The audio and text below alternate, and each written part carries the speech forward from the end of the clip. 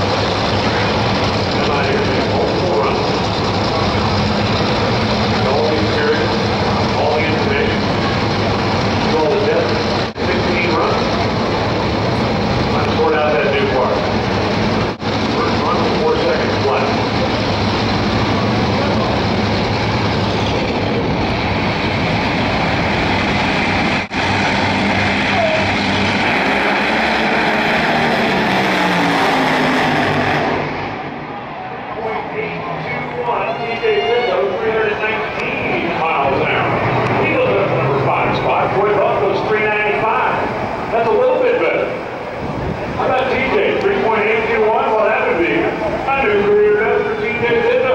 319.37. He just missed his career best mile an hour. The quickest run the team has ever made. Nice job from Mike the boys down there. Career best numbers, 3.821. At 319 miles an hour, TJ. All the way up to number five spot for Sean Lang. That's the first time two cars went down the track he didn't get bumped. Didn't miss by much. They went in right behind him. 395 12. 389 you see down there on the scoreboard belongs to the star, Paulie Schumacher,